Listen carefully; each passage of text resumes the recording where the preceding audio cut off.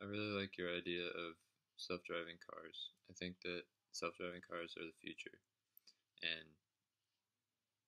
developing a new technology for automated vehicles is the one of the top priorities of the technology field today.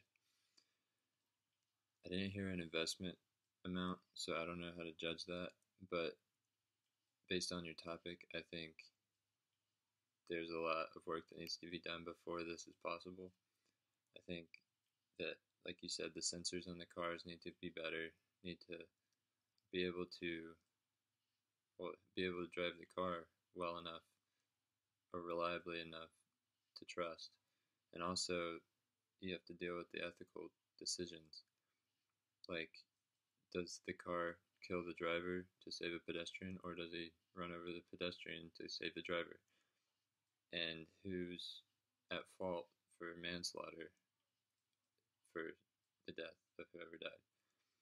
And because you can't charge a computer program with manslaughter, you could sue the company or you could take the driver to jail, but that's a big decision that needs to be made. And also about your program, I liked that it updates maps with use, so it can create a better system for the rest of the cars to follow. I think that's a good idea. And I also think that the use of other data to help improve driving is a great idea.